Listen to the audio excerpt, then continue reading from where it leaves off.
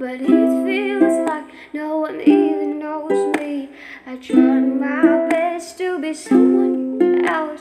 I made another version, they forgot the real me.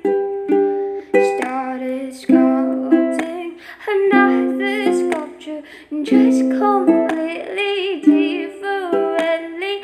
Give them another picture, pretending